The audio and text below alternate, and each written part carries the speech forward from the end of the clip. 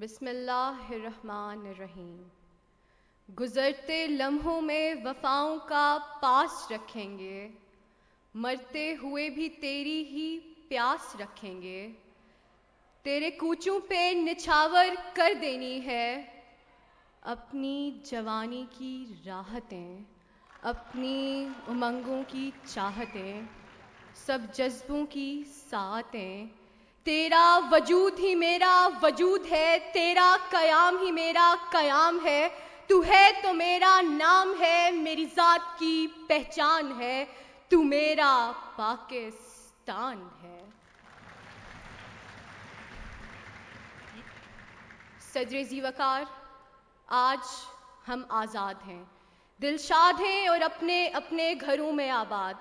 लेकिन क्या कभी हमने ये सोचा कि कलमा तैयबा की जागीर ये पाकिस्तान सुराय रहमान की तफसीर ये पाकिस्तान, माओ, बहनों की दुआओं की तासीर ये पाकिस्तान, कायद और इकबाल के ख्वाबों की ताबीर ये पाकिस्तान, और उम्मत मुस्लिमा की तकदीर ये पाकिस्तान, हमें मीरास में कैसे मिला? कितने लोगों ने कुर्बानियाँ दी? कितनी माओ ने अपने लखते जिगर खो दिए? कितने बच्चे अपनी बाप की शफकत से महरूम हो गए? कितनी बहनों की असमतें लुटी और कितने भाइयों के सर तन से जुदा हुए? खुद ब खुद टूट कर गिरती नहीं जंजीर कभी। खुद ब खुद टूट कर गिरती नहीं जंजीर कभी, बदली जाती है, बदलती नहीं तकदीर कभी।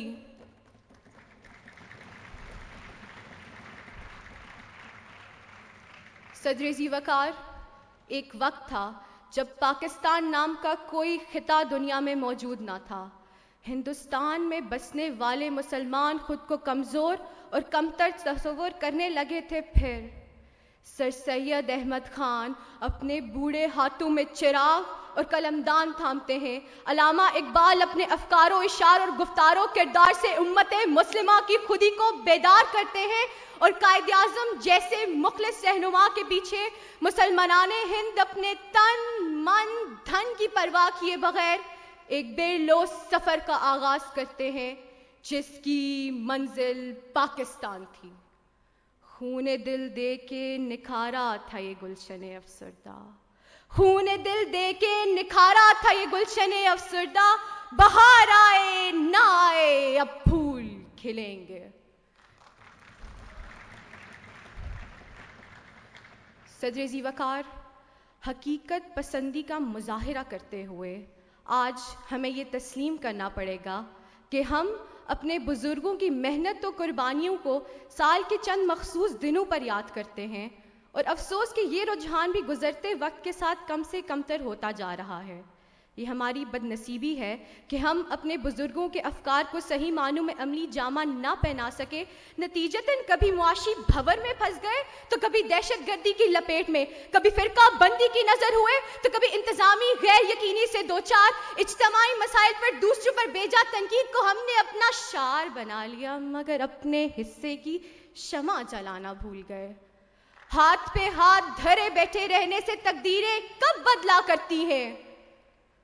फजाए बद्र पैदा कर फरिश्ते तेरी नुसरत को। फजाए बद्र पैदा कर फरिश्ते तेरी नुसरत को उतर सकते हैं गर्दों से कतार अंदर, कतार अब भी। आज ज़रूरत इस अम्र की है कि हम अपनी इनफरादी और इज्तमाही जिम्मेदारियों को पहचानें और इस मुल्क की तरक्की में बढ़ चढ़कर हिस्सा लें। क्योंकि इस पाक वतन की किस्मत में लिखा है चमकना चमकेगा। तुम लाख सवेरे कत्ल करो, ये चाँद फलक पे दमकेगा। शहीदों के लहू से सींचे हुए इस शजर की आबियारी हम पे फ़र्ज़ है। हम अपने असलाफ की कुर्बानियों के मकरूज हैं। हमें इकबाल के अफकार का अमी बनना पड़ेगा। हमें सर सैयद की सोच को परवान चढ़ाना होगा। ला इलाहा इल्लल्लाह के नज़रिए पर कायम किए गए इस वतन अज़ीज़ की हिफाजत ऐसे करना होगी जैसे इसका हक है। फिर नुसरत खुदावंदी हमसे दूर नहीं।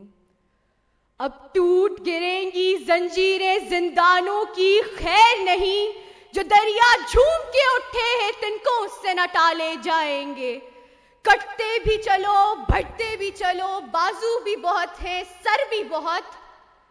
चलते भी चलो, कि अब तेरे मंजिल ही पे डाले जाएँगे। शुक्रिया।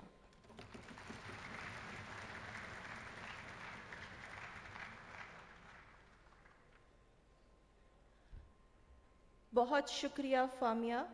तमाम डिबेटर से गुजारिश है कि अपनी तकरीर को पाँच मिनट तक महदूद कीजिए। पाँच मिनट से ऊपर अगर तकरीर गई तो नेगेटिव मार्किंग स्टार्ट हो जाएगी। आ, अभी मैं अपने नेक्स्ट डिबेटर को बुलाती हूँ। Please come up on the stage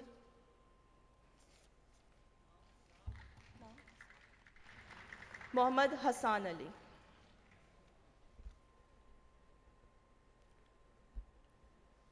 आउज़बिल्लिमिनशैतवानरजीम बिस्मिल्लाहिर्रहमानिर्रहीम। सख्तियाँ झेल कर, जान पर खेल कर, दीन दुनिया की दौलत मिली है हमें। हम हैं असलाफ की अजमतों के अमी एक मुकद्दस अमानत मिली है हमें। ऐ शहीदों की रूहो, ऐ शहीदों की रूहो, दुआ दो हमें। और तुमको खिराजे वफा देंगे हम। खिताए पाक की आबरू के लिए आखिरी कतराए खूब बहा देंगे हम। इस मुकदस अमानत का कोई नहीं, हमसे बेहतर अमीर ये दिखा देंगे हम। ये वतन, ये जन्नत नुमा टुकड़ा, जिसकी आज़ाद फिजाओं में हम सांस ले रहे हैं, इतनी आसानी से नहीं मिला था। इस वतन की असास में, इसकी बुनियाद में लातादार शहीदों का लहू, अनगिनत इसमतों की कुर्बानियाँ, बेहिसाब मुस्लिम बेटियों की कुओं और नहरों में तैरती लाशें, नेजों की अनियों पर पुरोए मासूम अजसाम। और तकरीबन तीस लाख जानों का नजराना शामिल हुआ। तब जाकर तब जाकर ये वतन हासिल हुआ और हम तरक्की की राह पर गामजान हुए। सरबुलंद पाकिस्तान की दो मिसालें देता हूँ।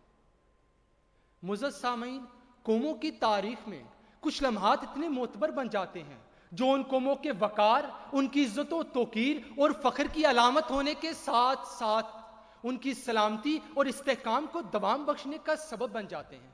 भला पाकिस्तानी कौम उस लम्हे को कैसे भूल सकती है, कैसे फरामोश कर सकती है कि जब इस कौम के जरखेज दिमाग बेटों ने इस पाक सरजमी को एटमी ताकत बनाया और इसकी तरफ़ उठी हुई हर मैली आँख को 28 मई के दिन चागी के पहाड़ों से ललकार कर वाजे पैगाम दिया कि खबरदार खबरदार, शाखों से टूट जाएँ, वो पत्ते नहीं है हम, तूफानों से कह दो, औकात में रहें।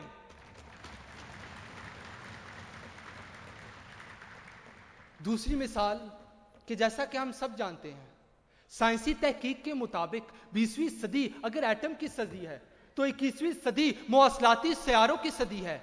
1960 के अशरे में मुकाबले की जो फिजा अमेरिका और सोवियत यूनियन के दरमियान नज़र आती थी, उसकी झलकियाँ आज चीन और भारत की मुहिमात में देखी जाती हैं। लेकिन आज ये बात हमारे लिए काबिल फख्र है कि पाकिस्तान भी इस दौड़ में शामिल हो चुका है। 21 नवंबर 2013 को पाकिस्तान का इंस्टीट्यूट ऑफ़ स्पेस टेक्नोलॉजी अपना पहला cube set I cube one के नाम से खला में पहुँचाने का एजाज हासिल कर चुका है। और नादीदा कुतों के लिए यह वाजे पैगाम पहुँचा दिया गया कि नहीं रोक सकेंगे शाहीनों को। ये मंदिर के पुजारी अब जो उड़े हैं तो आसमां छू कर रहेंगे।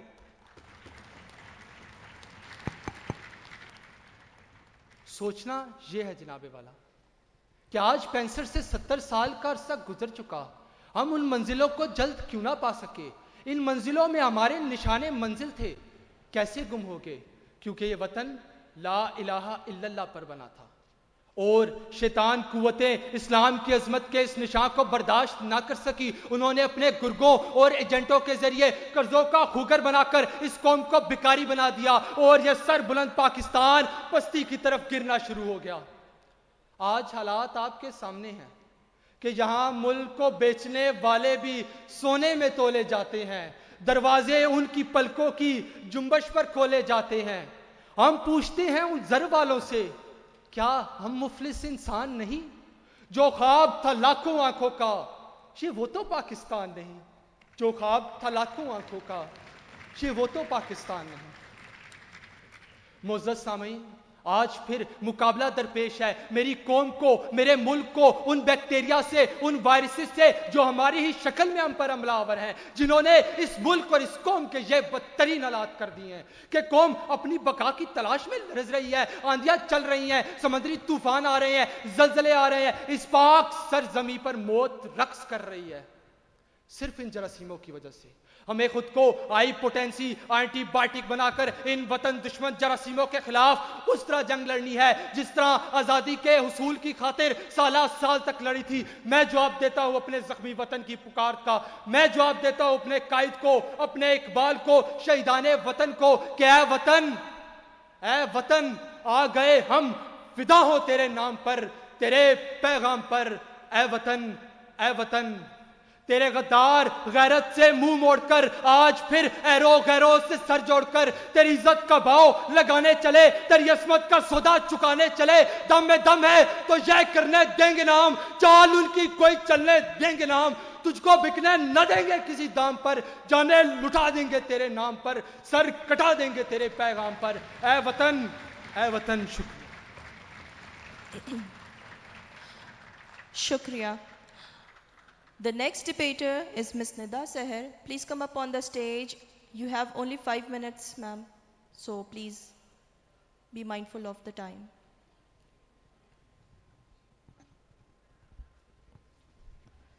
सामीन कराम मैंने अपनी पहचान को तलाश किया मैंने अपनी पहचान को तलाश किया मुल्क शाम में और उसके चमने स्थानों में वादिये उंदलस में और उसके रेगजारों में मैंने अपनी पहचान को तलाश किया। मुल्क मिस्र में और उसके हुस्न बाजारों में कजाफस की बुलंद चोटियों पर अरबों अजम की वसतों में लेकिन लेकिन मुझे अपनी पहचान का एक भी सिरा न मिला। फिर मैंने तारीख की किताब पर पड़ी धूल को झटक कर देखा, मैंने मंजर को पलट कर देखा। तारीख मुझे क्या दिखाती है? एक तरफ़ बरतानवी ताबूत है, दूसरी तरफ़ हिंदुस्तानी साम्राज्य। इन दो फ्रियतों के दरमियान मेरा अजीम कायद मोहम्मद अली जना मुस्कुरा रहा है। मेरे कायद की पेशानी पे फतह की बशारत है। यह बशारत मुसलमानाने हिंद को पाकिस्तान की सूरत, एक पहचान मिल जाने की है। बगैर इसके, कहा मुमकिन थी शनाख्त मेरी? मेरा वतन मेरे शजराए नस्ब की तरह है।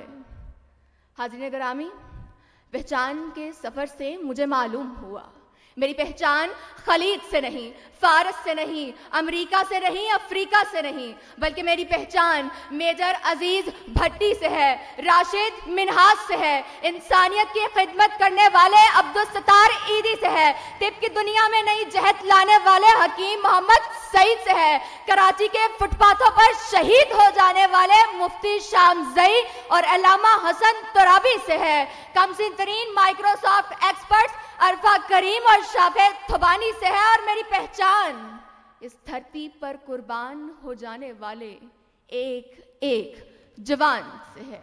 पहचान के सफ़र में एक ही सदा सुनने को मिलती है। मिल्लत इस्लामिया की शान हूँ।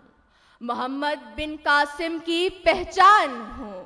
कायद के ख्वाबों का मस्कन, इकबाल का वजदान हूँ। हाँ मैं पाकिस्तान हूँ, मैं पाकिस्तान हूँ।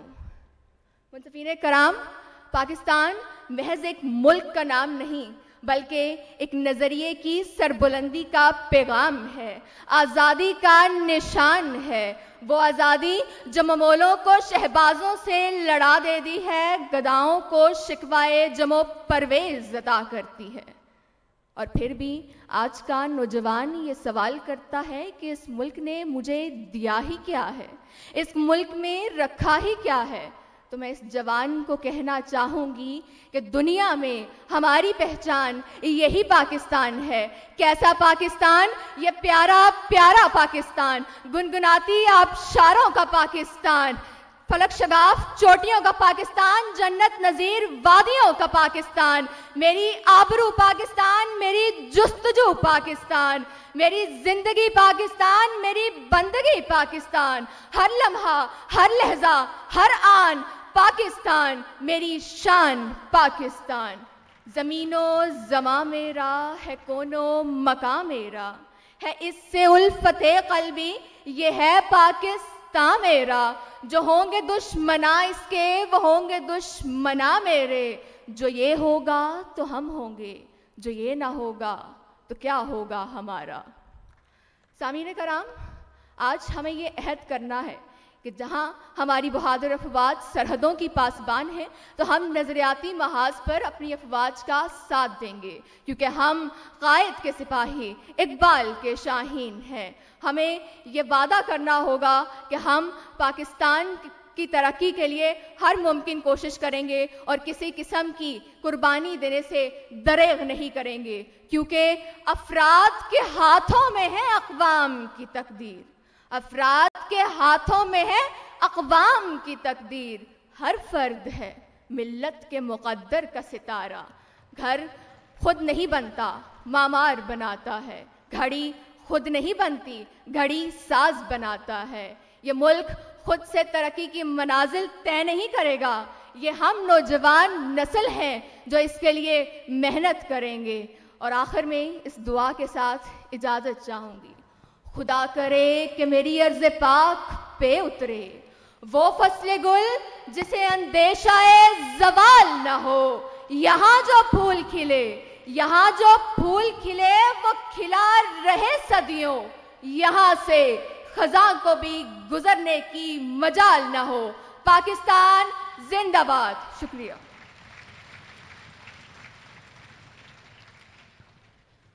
थैंक यू डिबेटर्स को दोबारा याद दिलाया जाता है कि अगर आप टाइम एक्सीड करेंगे तो नेगेटिव मार्किंग होगी। निदा, आप थोड़ा सा टाइम एक्सीड कर गई हैं। अगले डिबेटर से रिक्वेस्ट मैं करूँगी कि please within five minutes करें और the next debater is mister Asfandyar Khan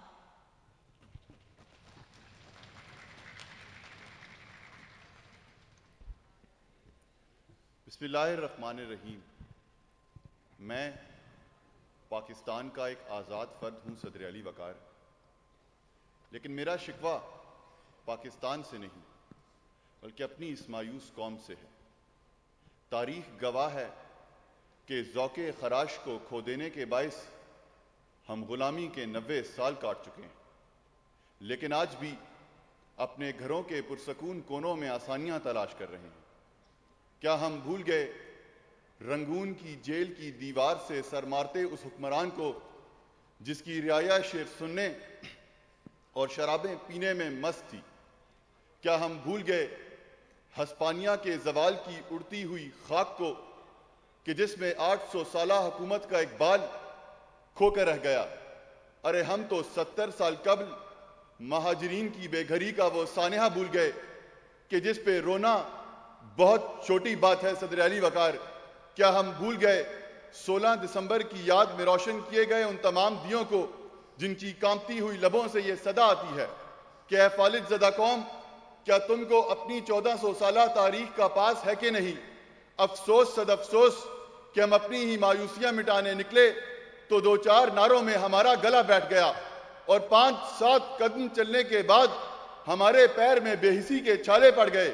तो मीनार कायम कीजिए उस टीपू सुल्तान की याद में, जो अपनी ही कौमियत का पास रखने की खातिर वफादारियों की सूली पर झूल गया।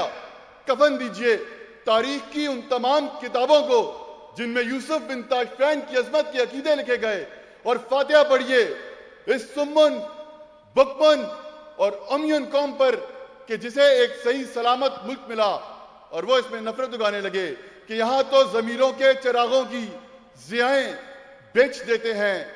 ये कैसे लोग हैं? जालिम जफाएँ बेच देते हैं। हवस की इंतहा का ये आलम कि अब भी जाफ़र सादिक मुनासिब दाम लग जाए तो ईमान बेच देते हैं। मुनासिब दाम लग जाए तो ईमान बेच देते हैं। सजरैली वकार हमने माना कि हमें हमेशा से शिकवा जुल्मत शब रहा है, लेकिन शमा हर रंग में जलती है। सहर होने तक, कि जब खवारिज दरिंदा सिर्फ़ मेरे वजीरिस्तान, सवात और बाजोड़ को यजीद बर यजीद बनकर मैदान करबल में ढलने की कोशिश कर रहे थे तो सदरियाली वकार, मैंने खाकी वर्दी इस तन पे ओढ़े, इस पाक वतन का अल अपने सीने से लगाए और इस वतन का अहद अपने कांधों पे उठाए। मैं तो हुसैनी था। कि जिसके बेटे की आँखों में आंसुओं के तमाशे थे। लेकिन खुदा जनाब मैं फिर भी दुश्मन की आँखों से आँखें मिला रहा था कि फलक पुकार उठी। सुन, तू किसी की ना सुन। एक ही धुन को बुन और चुन चुन कर मगरूर सर काट दे। लरसता हुआ सरों से गुजर, वार सीने पे कर और जिगर चाक दे। नोक से रोक ले, वक्त की गर्दिशें। दशते शामो वजूदे सहर काट दे। अरे आज जिब्राइल भी पर बिछाए अगर तू रियायत ना कर उसके पर काट दे। तू रियायत ना कर उसके पर काट दे। आप सबकी समातों का बहुत बहुत शुक्रिया। क्षमा हर रंग में जलती है, सहर होने तक। ये थे Asfand and thank you so much Asfand. कि आपने वक्त की पाबंदी रखी। अब हमारे नेक्स्ट डिबेटर आ रहे हैं मिस्टर तैमूर रियास। तैमूर रियास, आप प्लीज़ आइए।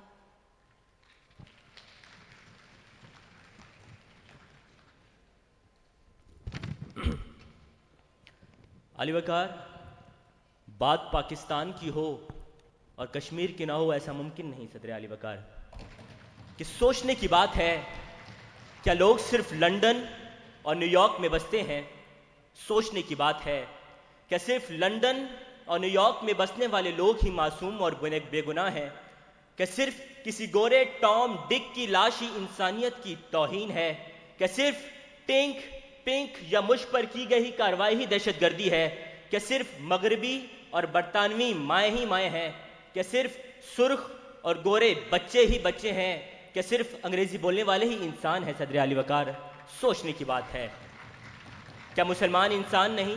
क्या कश्मीर में बसने वाले लोग बेगुनाह, बेकसूर नहीं?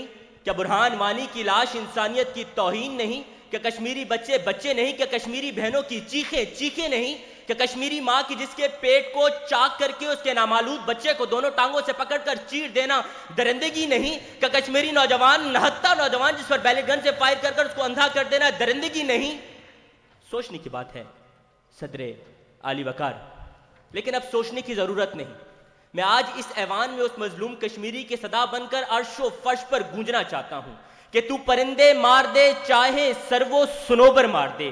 तेरी मर्ज़ी, तू जिसको दहशतगर्द कह के मार दे, और वो एक के जिसको ढूँढने के लिए भेज दी इतनी सिपा। ये ना हो कि वो तुझको तेरे घर के अंदर मार दे, और तेरा उसके चाहने वालों से पाला पड़ गया। जो परिंदे भेजकर लश्कर के लश्कर मार दे। जो परिंदे भेजकर लश्कर के लश्कर मार दे। आली बकार, हम एक पुरमन कौम हैं। हम चाहते हैं कि मसला कश्मीर मुजाकरात से हल हो, ना कि जंग से। जंग तो खुद ही एक मसला है। जंग क्या किसी मसले का हल देगी? लेकिन सदर अली वकार मुजाकरात होते रहे, लेकिन मसला कश्मीर आज भी जू का तू है। मैं जानता हूँ कि हमारा पाकिस्तान अभी सोया है, लेकिन मरा तो नहीं। मदम है, लेकिन अभी बुझा तो नहीं।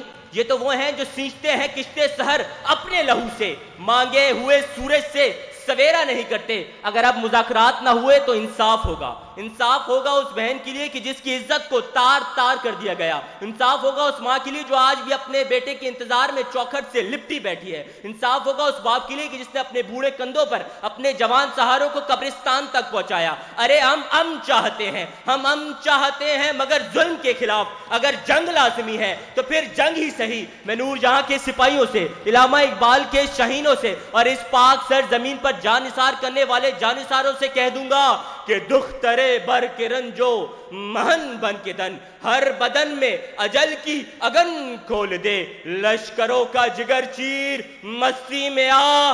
जलजलों की तरह गन में गरन गोल दे। दुश्मन की लहू की हर एक मौज में अपने माथे की हर एक शिकन खोल दे। आसमां पर उड़ा, उनकी गर्दनों को इनके कफन खोल दे। छीन ले छीन ले दुश्मनों की बीनाइयाँ। रोज़े रोशन पे नाजिल से आरात कर। तेरा दुश्मन जहन्नम का ईंधन बने। इन पे चिंगारियों की वो बरसात कर सुन और चुन चुन के मगरूर सर काट दे। सनसनाता हुआ सब सरों से गुजर, वार सीने में कर और जिगर काट दे। वार सीने में कर और जिगर काट दे। अली वकार कश्मीर हमारा है, जैसे ये सारा पाकिस्तान हमारा है। आपकी समातों का बहुत शुक्रिया।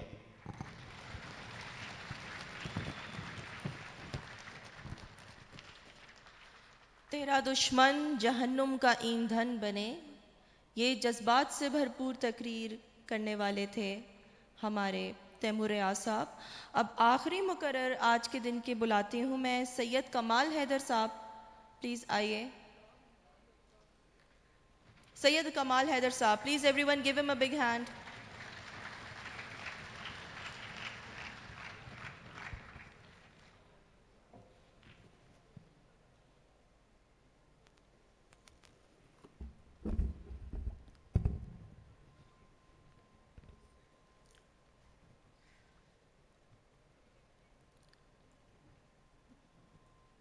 इक्कीस साल सेकंड लेफ्टिनेंट अब्दुल मुईद का हसीन चेहरा।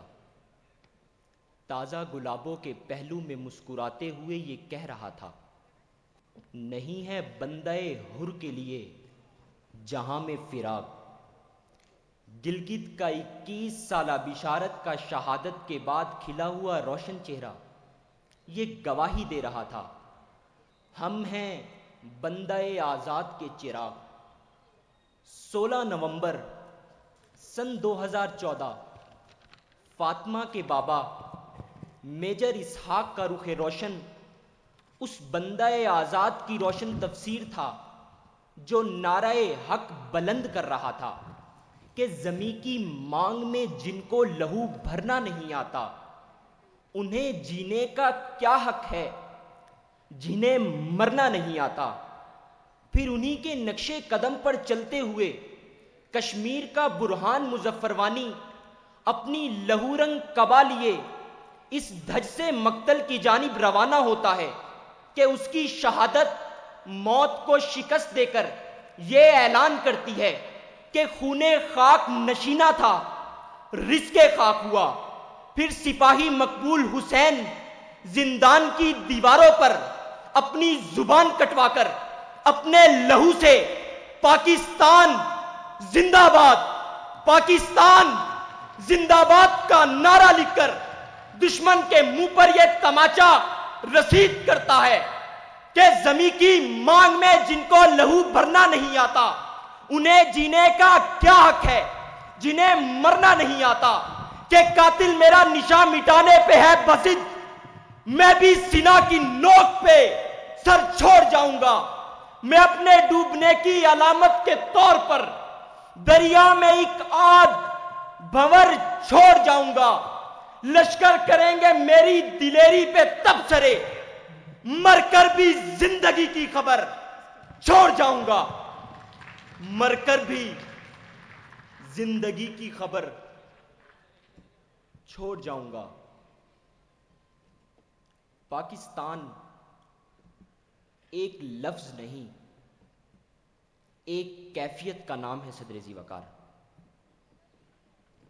अरे ऐसी हस्तियों के जहूर के लिए जिंदगियाँ काबा और इबादत गाहों का तवाफ करती हैं तो तब जाकर ऐसे बतले जलील और मर्द जमील पैदा होते हैं, जो फना फिल्ला की तह में बका का राज मुजमर कर ये ऐलान कर जाते हैं कि सर अगर सर है तो नेजों से शिकायत कैसी?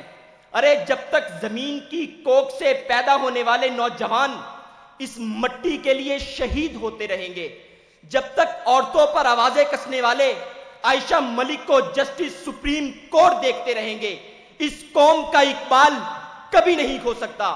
सदर अली वकार, हम वो नौजवान हैं जो खुद परस्तों और शब मस्तों को यह नबीद सुनाते हैं कि आखिरी बार अंधेरे के पुजारी सुन ले।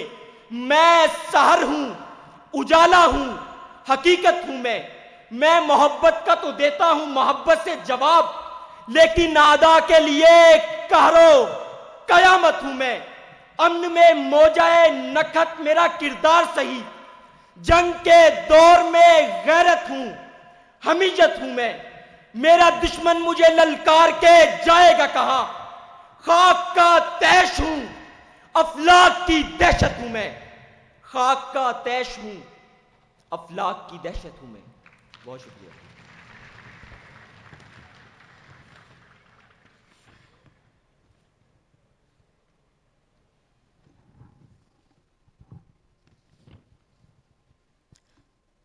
Thank you so much.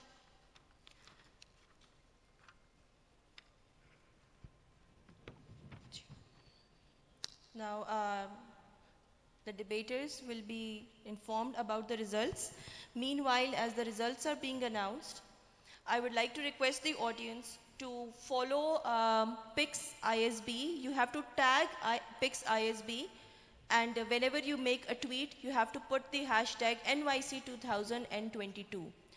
इसके साथ साथ on Facebook you can follow our page and you can see live updates and pictures. so if anyone is interested कि वो अपने आप को स्पॉट कर सके ऑडियंस में please follow our Facebook page and our Twitter और प्लीज़ ट्वीट्स करें with N Y C twenty twenty two handle and again the announcement of the blood drive काफ़ी नौजवान मुझे उस तरफ़ नज़र आ रहे हैं, मगर uh, खून के अहतियात वो दे रहे हैं, ये नहीं मुझे पता. Uh, खून के अहतियात ज़रूर दीजिएगा. बहुत से ऐसे बीमार और अली लोग हैं जिनको आपके खून के एहतियात की अशद ज़रूरत है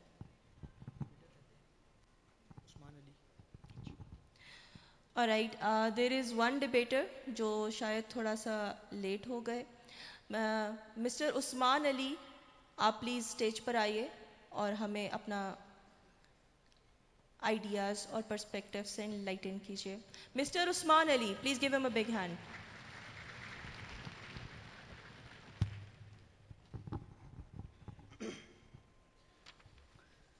बिस्मिल्लाहिर्रहमानिर्रहीम। तू शाहीन है, परवाज है काम तेरा। तू शाहीन है, परवाज है काम तेरा। तेरे सामने आसमां और भी हैं। सदर आली वक़ार, हुजूर वआलैहि वसल्लम के औकात ज़िंदगी, सुबह से शाम और शाम से सुबह तक अदाए फ़र्ज़ की, वो रोशन और ताबिंदा तर मिसालें हैं कि जिनकी रोशनी में कुरून उला के मुसलमानों ने दुनिया पर वो शानदार फतेह हासिल की, जिसकी मिसाल मशरक मगरब ने आज तक पेश नहीं की। तुझे उस कौम ने पाला है आगोश मोहब्बत में। तुझे उस कौम ने पाला है आगोश मोहब्बत में। कुचल डाला था जिसने कदमों में ताजे सिरे दारा। सदर आली वक़ार, जिस कौम के अफराद इल्मी लिहाज से अफजल हों, सरगर्म अमल हों, इखलाकी लिहाज से बुलंदो बाम हों, जहनी लिहाज से बुलंद मरतबा हों, जोश किरदार से उनके सीने मामूर हों और मेहनत मुशक्क़त उनका ओढ़ना बिछौना हो तो वो कौम दुनिया की तमाम कौमों पर सबकत ले जाती है। क्योंकि यही वो खूबियाँ हैं जो किसी कौम को पस्ती से उठाकर उर्जो इकबाल के तख्त पर जलवा गर कर देती हैं। यही वो मुहासिन हैं कि जिनके पर लगाकर इंसान फिजाए नीलगुन की पहनाइयों में महवे परवाज हो जाता है और एक कामयाबी के बाद दूसरी कामयाबियाँ इंसान के कदम चूमने के लिए बेताब नज़र आती हैं। खुदा ने आज तक उस कौम की हालत नहीं बदली, न हो ख्याल जिसको आप अपनी हालत के बदलने का।